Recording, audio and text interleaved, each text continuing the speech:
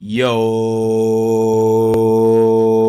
what's good YouTube, man? It's your boy CoHeZion and I'm back with another video, man. Now today's video, I got a really, really special thing for y'all as far as 2K. This is me showing you guys my top three builds that in 2K25 period that I'm probably going to be like using or maining as far as cap breakers. Cause just the other day, you know, as uh, with Rise, we get the boost for every time at the end of the season when we win against Elite in Rival Day. And after we got our boost, I found out I hit starter three. So I'm like, damn, I got my cap breakers now and shit. Let me go test these motherfuckers out. You know what I mean? So I go test my shit out. And turns out, you know, my builds, a lot of them actually changed. Matter of fact, one of my builds names completely changed because of the amount of difference in his playstyle changed. You know what I mean? So we're gonna hop into this. We're gonna talk about the builds. I'm gonna break down why I think these builds are overpowered as hell and if this video helps you out or informs you in any kind of way as far as what you want to do for your next few builds, or you have any have any builds now that you want to make them better with cap breakers when you reach that point, hit the like button, leave it in the comments. Sub to the channel if you're new, man. We're on the way to big 900, man. Big 1K on the way. But right now we're at 882. Let's just try to go for 10 likes on the vid. That's it. 10 likes on the vid. And without further ado, let's hop into it. All right, so hopping into this, the first build we're gonna start off with is my 97 mid-range slasher. This actually used to be, uh, if you guys don't know, this used to be my build. I forgot what the name of the build or like the exact archetype name was before I changed it to mid-range slasher. But if uh if you go to my channel, there's a video called the full way forward. This is that build build. But the thing about this build that makes him already crazy is that he's already an all-around build altogether as far as his attributes go. But now he has contact dunks with an 89 driving dunk. You know what I mean? So he's already at a place right now where he literally cannot be stopped now. Because before I would have to post up, spin off somebody, get to the rim and dunk, or fast break dunk. Now I don't have to be scared to stop on the off the dime, pass to a teammate, or shoot a fader from the mid. I can run in and just literally dunk on somebody ass. So it, it, it's really good to have those those contact dunks in my arsenal in my bag now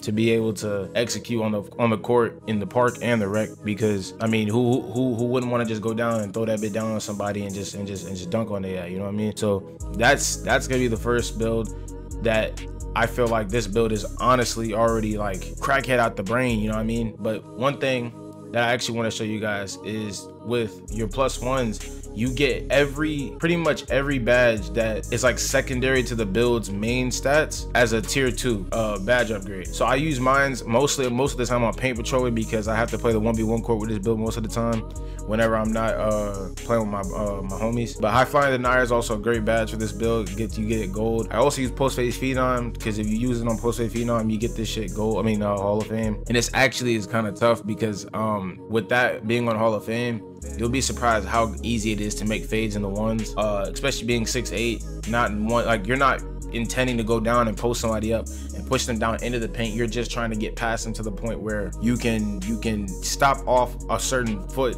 and hit a post fade for uh for the green you know what i mean and then most of the time with my tier ones i'm six eight and i get lightning launch silver most of the time i use my tier one on lightning launch to get it gold because not a lot of six eights get that kind of speed you know what i mean so for my six eight to be moving the way he moves i've seen a lot of people ask like yo what's his build this and this and i be in the in the proving grounds cooking shit with this build so this is definitely a crazy ass build not to mention an even more overpowered build now with cap breakers and having the ability to get contact dunks. All right, hopping into my next build. This build is going to be my 6'2". I think, if I'm not mistaken, I've actually never showed this build on the channel, so this might be your guys' first time seeing it. But this is going to be my 6'2". Uh, I guess the easiest name for the build is a play slasher. I mean, a play shark. He's uh he's basically a taller version of the five nine builds. I kind of didn't want to go five nine just because I thought like the 5'9s were very, very sketchy to me just because I thought that I could never contest a shot. But clearly I was wrong because them motherfuckers run this game. I swear they do. But this is the build, man. You know what I'm saying? You got the close shot, you got the driving layup, so you can get them points down in the paint if you need to on the fast break. Or if you just need to go down, put a floater up or reverse layup or whatever, contact, whatever. You can get in there and uh, attempt to make a good layup. 87 mid-range, 97 three ball, and uh, you know, just just just just overall glance at the build. You know what I mean? 85 speed, 85 agility, 80, uh, 82 mid uh, perimeter, 73 steal to get the bare minimum. Stealing badges like interceptor and and and uh, glove. You got the 91 ball hand, I mean speed with ball now from the Cap breakers, the 95 ball handle from the Cap breakers, and the 99 from the Cap breakers for the three point. So this gives me every shooting badge, legend, and every Hall of Fame dribbling badge. So with that being said, if you ever go to your plus ones, you look at your badges, you can really put any of these on uh, tier two. Normally I use it on layup mix master just because if I go in for a layup and I need to change out of my layup to go for an M one or to, to draw the foul or even just to switch the layup to, to take a better shot than what I went up with in the originally, it's great. But you also could just throw it on something simple like Dimer and dish the ball to your teammates for our assist, you know, especially with me being a rec player, that's normally normally what I do with my builds. Um, and then for your tier one, I'm thinking that when I when I once I unlock it this season, I might just go ahead and throw that on lightning launch once I get my lightning launch Hall of Fame, then get that lightning launch legend. Because on top of my speed and agility, on top of lightning launch legend, I'm gonna be damn near impossible to guard off the screen and ISO ISO game is going to be a lot harder to stay in front of me just because my quick stop game, hezzy game, and on top of space creation with my dribble moves, it's already going to be damn near like stressful trying to stay in front of me and guard. You know what I'm saying? That's another. This is the second build that I'm most likely probably gonna main out of all three of these builds. If not, the next build is gonna be my main. But let's hop over into that guy right now. All right, hopping into the last build. Now this build is probably one of the craziest builds I probably ever made in this game because this game is very very skimpy on some some attributes in certain categories but I tweaked him to the point where he literally cannot be stopped now, as you can see, I'm pretty tall. I'm probably about 6'5 on this build, right? 6'5, 6'6. Peep stats, though. Peep my stats. We got a 99 three ball, 85 mid-range, 80, uh, 80 driving layup, 70 close shot, 74 pass accuracy, 92 ball handle, 86 speed with ball, 50 interior, 80 uh, perimeter, 85 steal. Blocks really not all that good right now, but we ain't worry about that. So is the uh, rebound. And the speed and, and agility is 81 and 83 this build is literally the epitome playoff Jamal Murray. Let's say that playoff Jamal Murray. This is definitely a, a, a, playoff Jamal Murray build. He's definitely kind of what I was going for. Actually, was a Jamal Murray type build to come off the screens and just be able to hit certain shots for the team and also dish the ball out. Because with 74 pass accuracy, you get the Anthony Edwards pass passing style, and a lot of his animations are kind of like bailout animations for like when you you go up for a shot and you pass out of it. Even without bailout, I can still get those animations, and it, it's still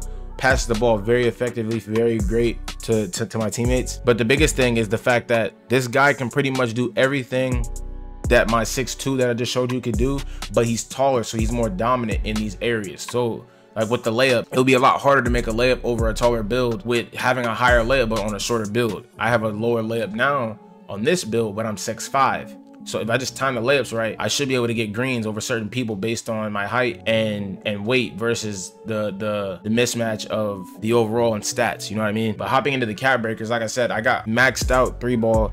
And then if I get my plus one at the end of this season for my cap breaker, put that on ball handle, I'll get, if I'm not mistaken, I'll get ankle assassin on Hall of Fame and uh handles for days i'll get hall of fame at 95 so i'm to be getting a lot of hall of fame dribbling badges but i definitely went with the the 86 uh the 86 speed with ball just because um to get gold lightning launch and then use every season just use my lightning launch on my tier one upgrade in order to get that to uh hall of fame. So i'll be having hall of fame lightning launch on a 6'5 point guard. That alone is already overpowered because i don't have to use any of my shooting badges if they're legend. My lightning launch my limitless range about to be legend. All, all my batters are pretty much maxed out. And then once all of these get maxed out and they'll be maxed out to uh, legend, then the only thing I really have to use it on is lightning launch because I could go interceptor, but I don't really get steals like, I mean, I get steals, but I don't go for steals like that. If the ball comes my way, then I'm, you know, I'm snagging it, bro. So this is, these are the builds, man.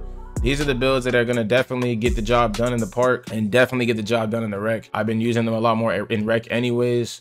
And right now with this six five, I'm actually averaging a double double. So it, it, it really is, you know, cool to see how far this game has come, especially with people who just stick in the game and just keep playing this game they'll definitely have the advantage over newbies or people who you know never had the game to begin with. And i feel like that's what kind of comes with this game and why people don't like it so much is because the fact that you know they want to have a, a, fair level playing field. But if you've been playing this since day one you shouldn't have to be on the same playing field as somebody who just bought this game yesterday. You know what i mean and I feel like that's what 2K was doing with the seasons and, and as far as these cap breakers and, and everything like that. So I'm not gonna go too deep into that. That's I feel like that's more of a biased opinion because I've been playing 2K for so long, but we're not gonna go into that. If you guys enjoyed this video, man, make sure you guys like, comment, subscribe, share with your friends, turn those post notifications so you guys every time I go live, premiere a video, upload a video, man. And without further ado, All y'all boys stay cold. Have a blessed day. Stay blessed. And I'm out of this game, no cap. This shit again.